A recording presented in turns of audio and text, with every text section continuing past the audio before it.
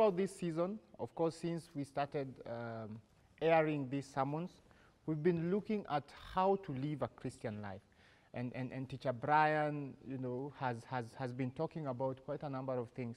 Uh, so today we are going to look at how to live this life, the things that we need to get rid of so that living this life can actually be easy. Because in li this life in itself is not easy. Living a, a, Christian life, living a holy life amidst the impure world, it's, it's almost an impossible thing.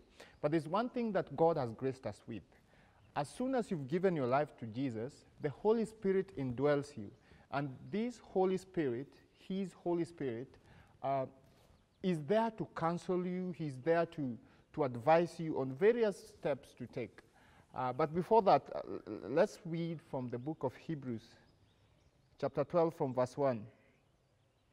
He says, Therefore, since we are surrounded by such a great cloud of witnesses, let us throw off everything that hinders uh, uh and the sin that so easily entangles, and let us run with perseverance the race marked out for us fixing our eyes on Jesus, the pioneer and perfecter of faith.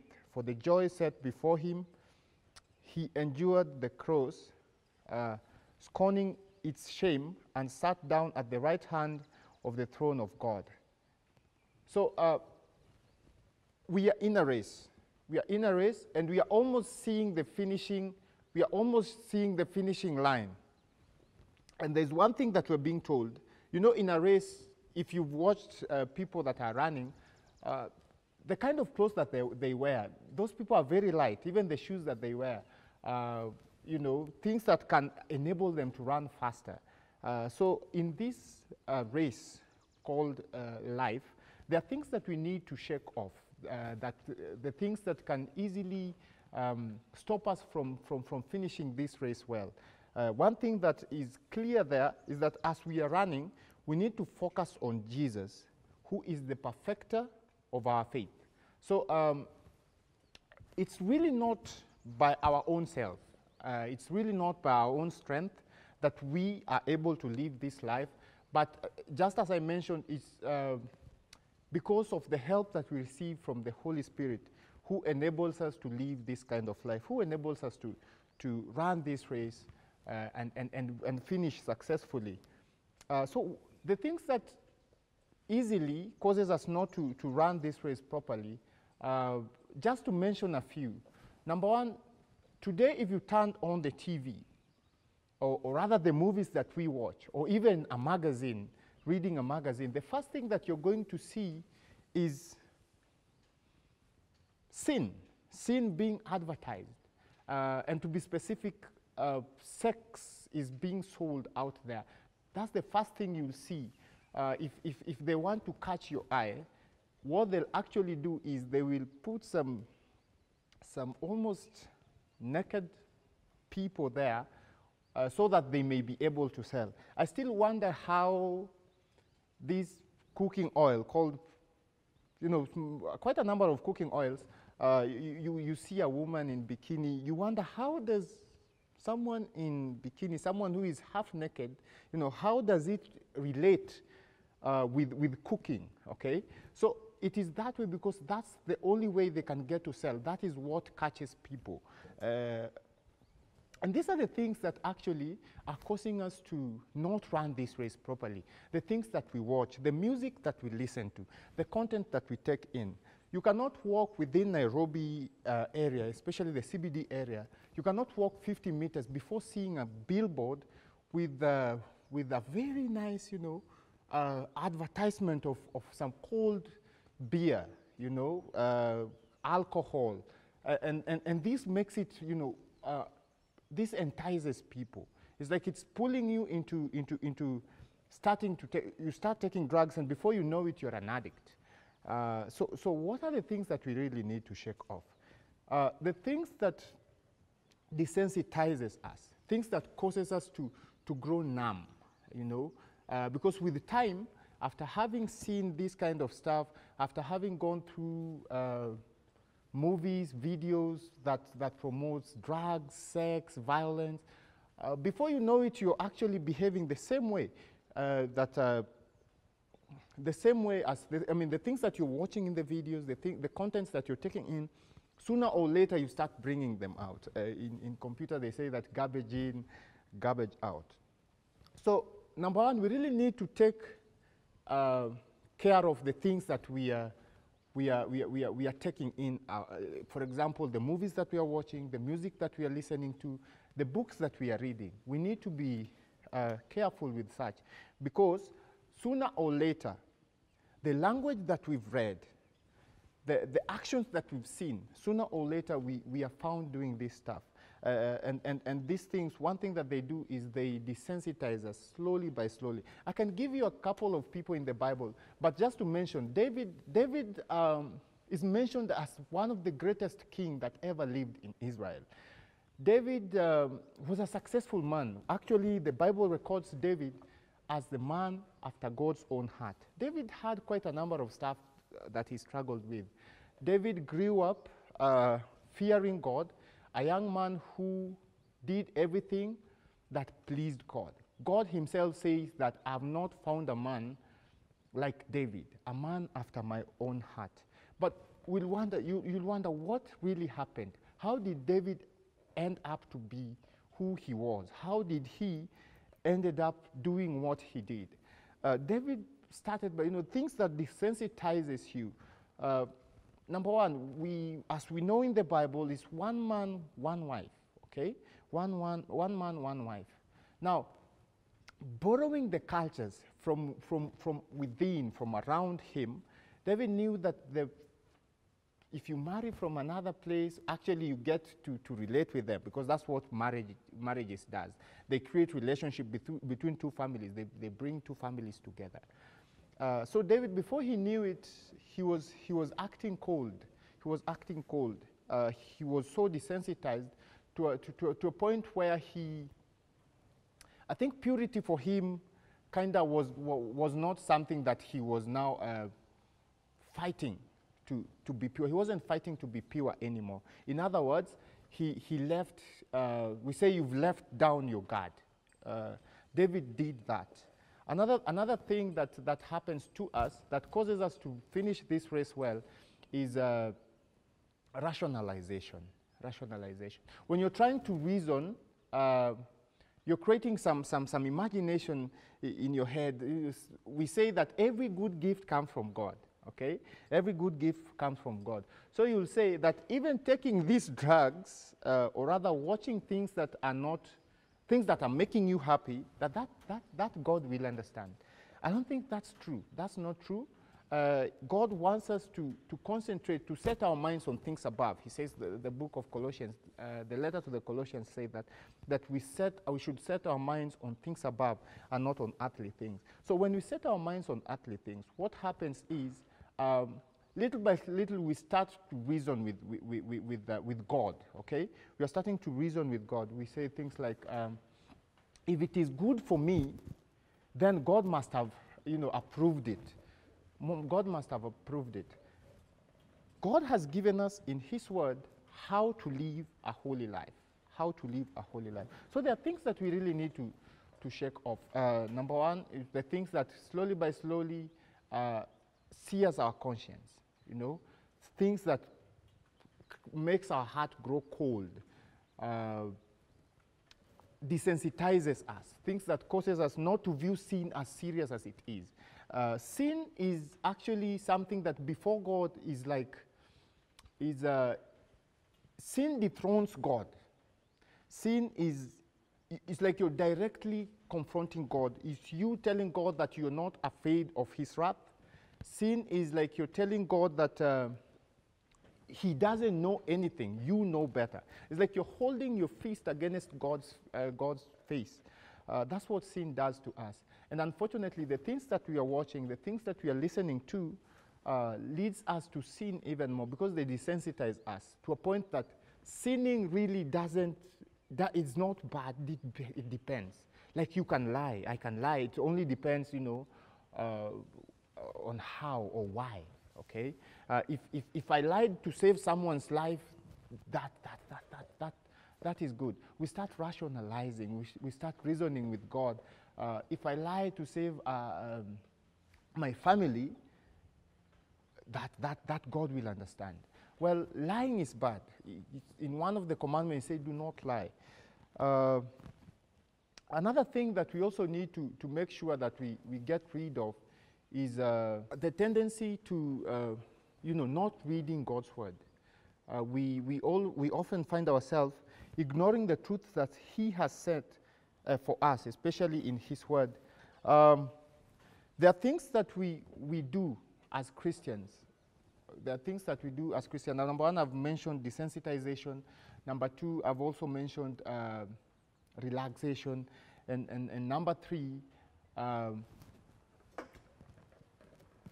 allowing things, you know, allowing things that are not godly to enter um, our, our minds, you know. We talked about, you know, see when you read Psalms 1, when you read Psalms 1, there are things that Psalm 1 uh, talk to us about, you know, a blessed person who doesn't walk in the counsel of the evil uh, or, or, or, stand in the way of, of scoffers or sit in the seat, all those stuff. These are the things that we need to, to, to, to let go of if we are to run this race. These are the things that hinders us from uh, finishing this race. Uh, now, if you've emptied yourself of this stuff, there are things that now you need to put in. For example, if, if, um, if you have a tin and you've placed it somewhere and it had water initially, if you remove the water from it and the tin is in the open, you need something to fill it so that the wind will not blow it away. So if we've taken things like uh, watching dirty stuff, listening to bad music, entertaining bad company, we need something to fill those spaces. And the only thing that fills these spaces are God's word. Okay? When you read God's word, it guides you, it gives you counsel on how to, to run this, uh, this race properly. And one thing that he, uh, it has promised is that if you, if you read Philippians, it says that let us work out our salvation with fear and trembling. Uh, for, for it is not, you know, for it is God who works in us both to will and to do. So everything that we are doing in, in, in our salvation work is actually something that God Himself is the one who is enabling us to do. As I mentioned, the Holy Spirit that has been placed in you enables you to do this stuff.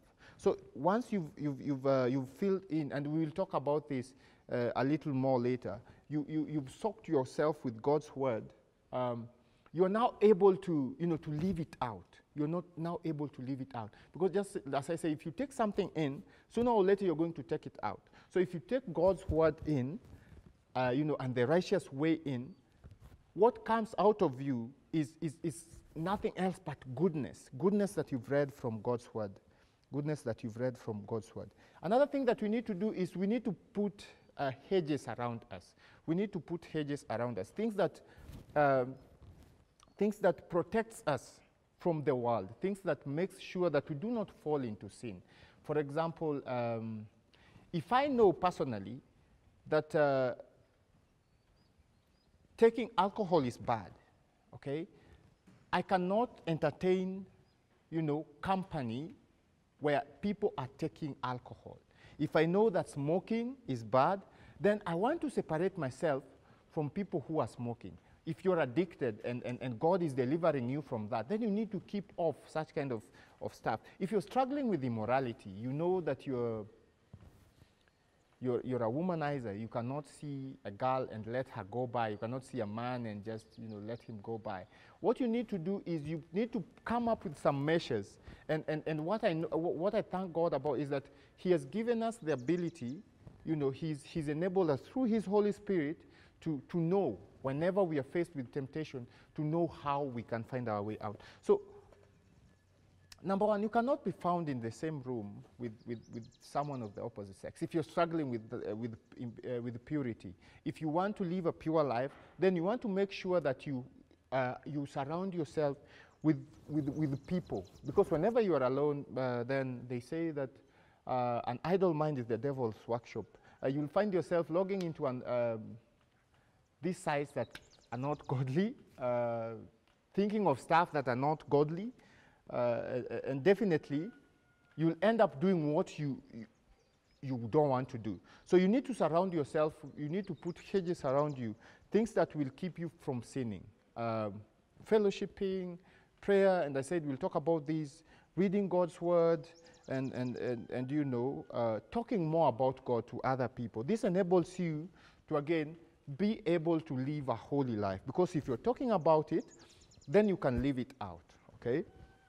Uh, another thing that we need, we need, we need uh, accountability partners. We need accountability partners.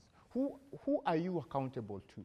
Do you have one person that you can, you can actually call anytime and, and explain to them your deepest secret, your, your, your, your you, know, you know, the sin that, that you cannot air out? You know? Do you have that person that you can, you can show them your dirty linen? You can open your, your wardrobe and allow them to see the skeletons in your wardrobe.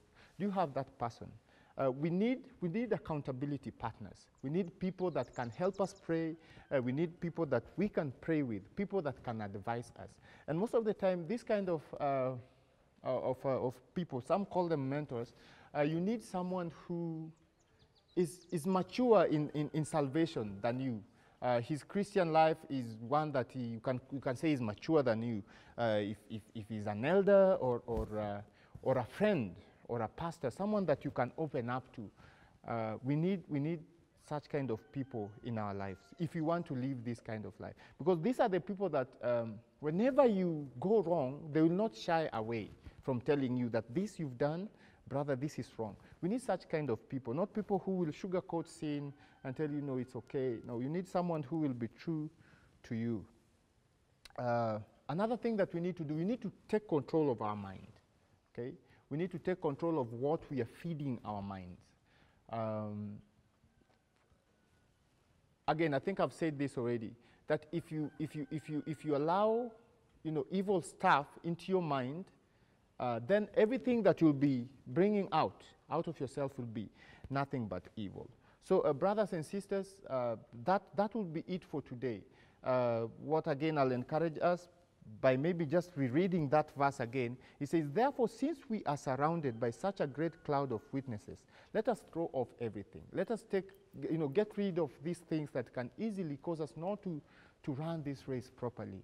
Uh, take away hate, take away, take away um, malice, take away slandering, take away, you know, stealing stuff, um, lies, such kind of stuff.